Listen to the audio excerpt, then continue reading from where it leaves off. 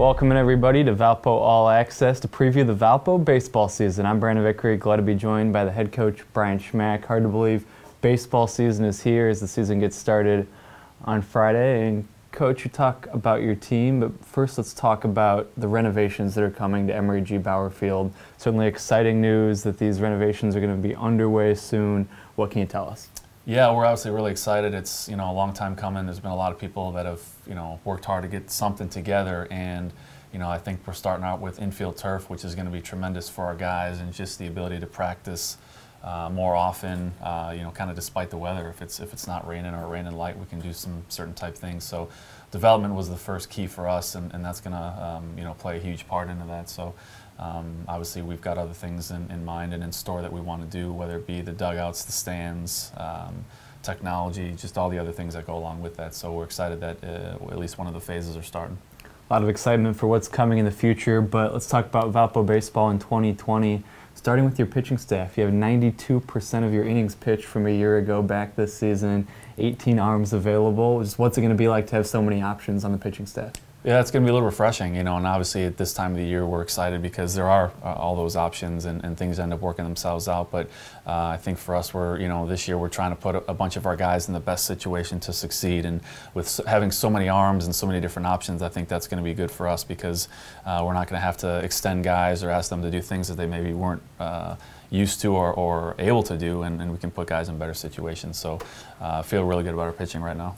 Let's talk more about that Friday season opener. You said you're going to start Easton Roadhouse, who has been a relief pitcher through his career.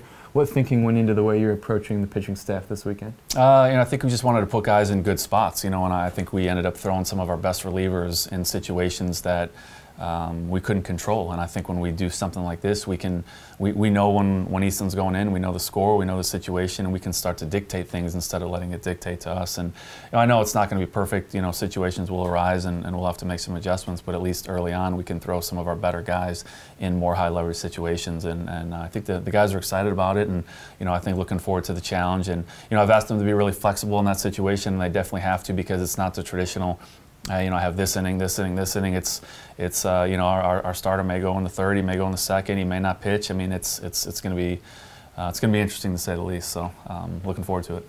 Let's talk about the offense. Kind of the opposite of the pitching staff, quite frankly. You lost a lot from a year ago. Four of your six top six batting averages are gone. Guys like Dawson and Shaken and Billinger. How do you fill those holes this season? Uh, I think we've done a really good job. First of all, developing the guys that we still have. You know, and I, we've talked about kind of raising the um, raising the floor within that within the program. And some of those guys obviously were younger that struggled early on, and they've gotten better right away, um, whether it be summer ball or just continuing to be older and, and learning about baseball. So um, we're excited about that. I think our depth is. It's maybe not as deep um, on the offensive side, but uh, our guys are. We're not asking asking them to do what Blake and Sam and Chase did. We just want them to get on base. We want to create pressure on the offensive side, and, and um, hopefully just be a different type of offense than we were last year we talk about it every year, and every year it seems like we say this is your most challenging schedule you've had, and it seems to get more and more challenging. What can you tell us about the slate you've put together this season? Yeah, uh, again, and, and it is challenging. You know, obviously uh, we open up at Western and, and knowing Ben, and, and they're, they're going to be ready to go, so that's a challenge in itself. Um, you know, the number one team in the country is next, and then we have a weekend tournament where the two teams are both picked to win their conference, and play Kent State, which is picked to win. So um, it's, it's good for our guys because we want to figure out what we're doing and uh, we want to face the best teams and we can make adjustments that way. So, um, you know, by the time we get to conference play, we should be very challenged, obviously, and know what we need to work on. And hopefully that sets us up for the tough MVC schedule.